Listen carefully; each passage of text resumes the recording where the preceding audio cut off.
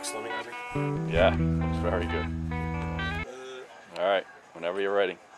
All right, well, Dave, Chef Dave, welcome back to uh, GlenRo's Spirit Shop. Thanks for coming over. This will be seen on lifeishardtv.com.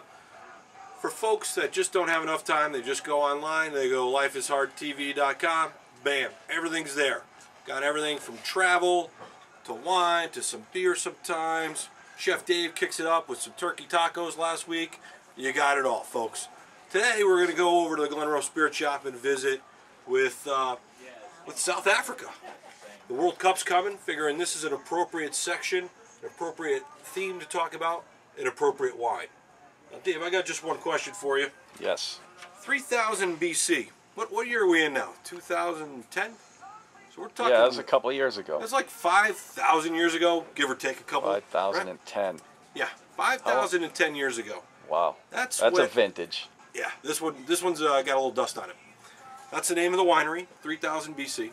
They have evidence that roots and vines and everything go back to 3000 BC. So we're just going to talk about a couple of whites and a couple of reds from there. The first one is Chenin Blanc from this company, from the vineyard. Chenin Blanc, if you were to take this over to France, which they probably did, uh, they landed in a town called, a section called Vouvray. So for you French Frenchophiles, it's Vouvray.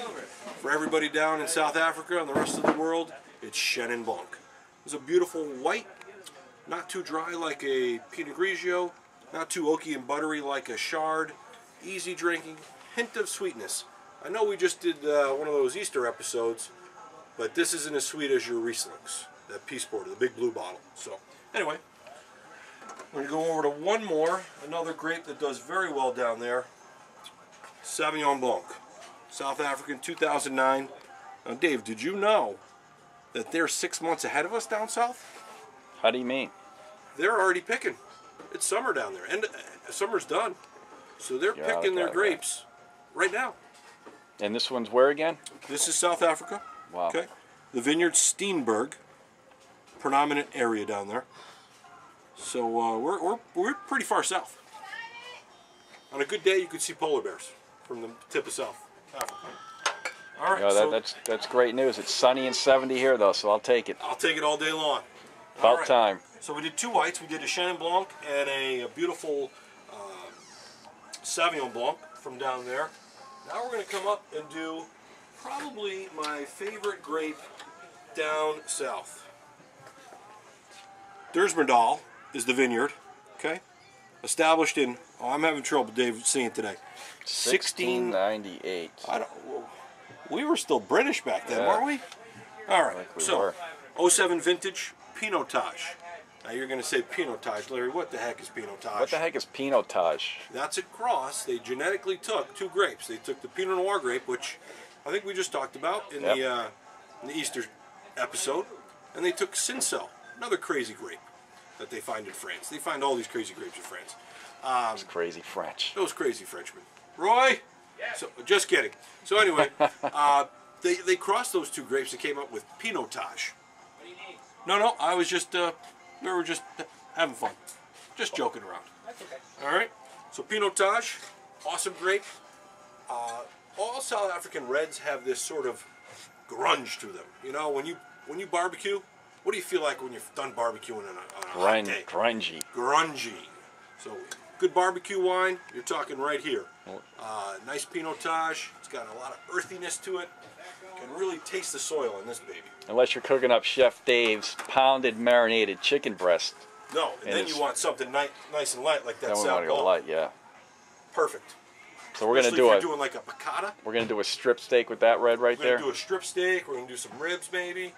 All sorts of great stuff. And then, as you can tell, I'm just, I'm just jumping around here. It's basically all South Africa. This is all South How many Africa. selections from South Africa? Now, you could be looking for Sambuca, right? Right over here. And that's the great thing about GlenRo. You never know where you're going to find it. You're going to be looking for Sambuca, and all of a sudden, oh my God, here comes South Africa. Right at you. Things are flying at me. How was Pinotage created? I've just got a question from the uh, art gallery. How is, Roy, how was Pinotage created? You don't know? I know it's a blend of Pinot Noir and Cross. cross between Pinot Noir and Cinsault. Right, grafted. He should have been a doctor, folks. I can't even. Can you read that?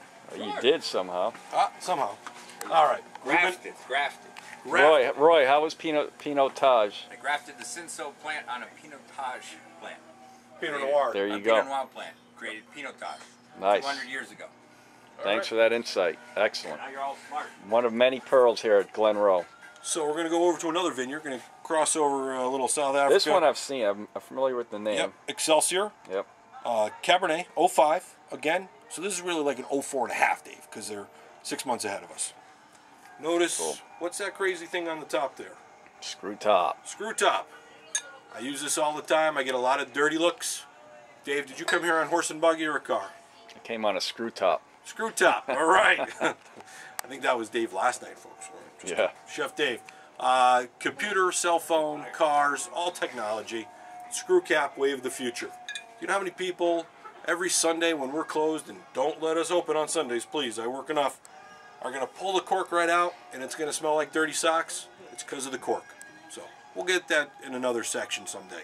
But screw cap, wave of the future, Cabernet Sauvignon, beautiful grape. So uh, let's say you got a big ribeye going, or you got some, uh, you know, you're gonna do a nice little prime rib.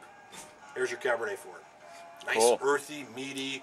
You know, let's say you're doing like a tomato uh, remoulade, some you know really dark, earthy sauce. Is your is your answer right there? Well, that's it, folks. Thanks for coming over today, Chef Dave.